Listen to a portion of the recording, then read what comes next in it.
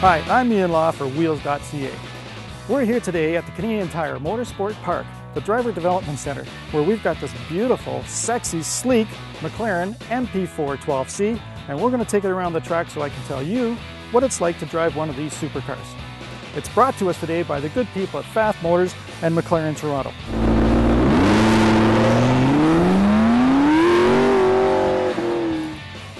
The McLaren comes with a twin turbo V8, big ship mounted for ideal handling, and it's designed and engineered by McLaren to their specifications. Comes with uh, 596 horsepower.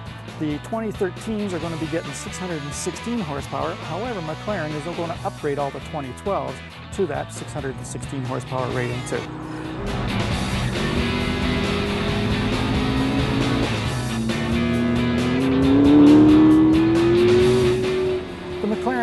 With a chassis that's carbon fiber, so this tub is unique to the McLaren. It's the only production car that comes with a fully carbon fiber tub chassis.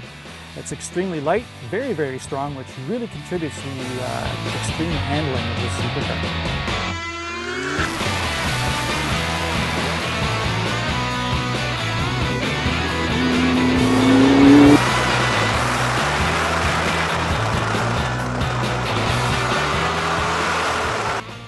So, is the McLaren MP412C truly a supercar?